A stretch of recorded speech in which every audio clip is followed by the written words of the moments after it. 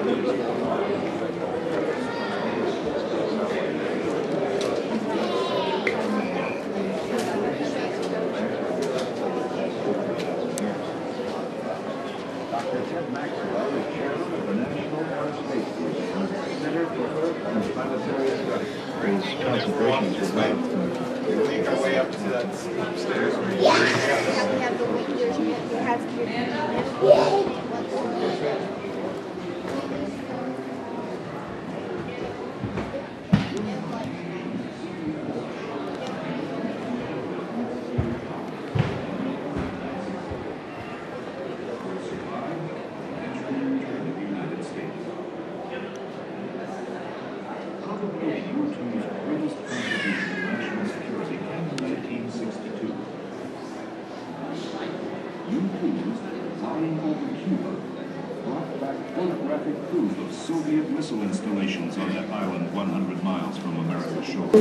Ambassador Zorin deny that the USSR has placed and is placing medium and intermediate range missiles and sites in Cuba? Yes or no?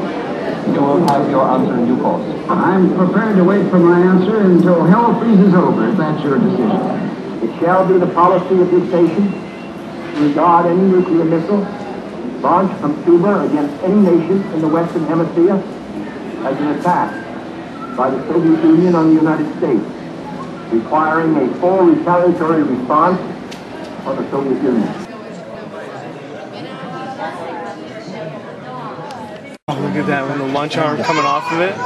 The Germans had systematized their launch preparations. Yet it was still possible for one technician to confirm launch readiness by checking the surprisingly few meters connected to the rocket through a releasable cable.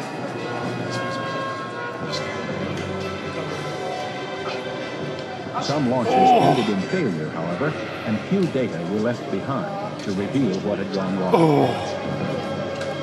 The Didn't have enough complex thrust. systems of the future would require far more data. And put, like, so like you get one piece for this, and then they made it, didn't the Wright brother make the first, like, Is a pig. One little slot is a pig.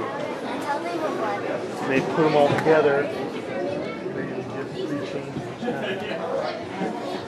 Okay, now listen. I'm gonna tell you.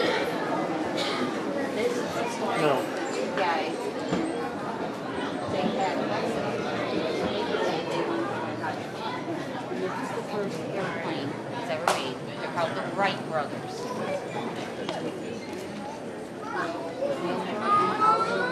See how he flew it? He's laying down in the center of it.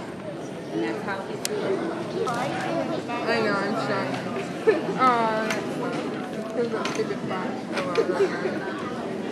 I hate it.